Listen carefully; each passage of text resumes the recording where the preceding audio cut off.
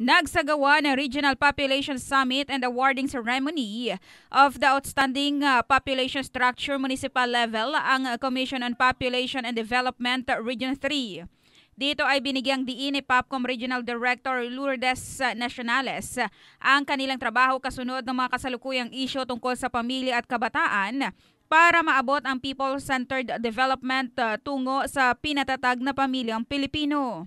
Kasabay ng aktibidad ay ang pagkilala sa mga munisipalidad na nakakapagpatupad ng mga programa ng mas maayos. Samantala, dumalo rin ang ilang kilalang personalidad na sumusuporta sa mga programa ng POPCOM. Ito si Kabrigada John Bayot ng Brigada News of Philippines, the Music News Authority.